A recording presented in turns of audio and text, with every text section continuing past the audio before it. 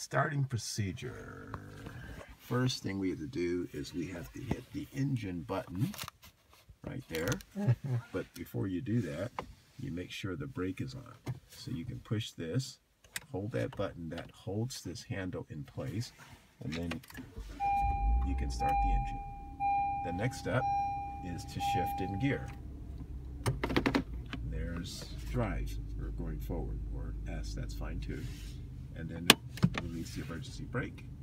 And then to drive away, you pull this handle, and then you release it, and the car will start moving. Now when you want to shut the car off, you hold this handle, push the button, release the handle, keep the button in, and now the car is being held. We're going to pull up the parking brake, put this back in park, and then turn off the engine. Can you do turn off the engine for me with the button? Hit that button up there, the red button.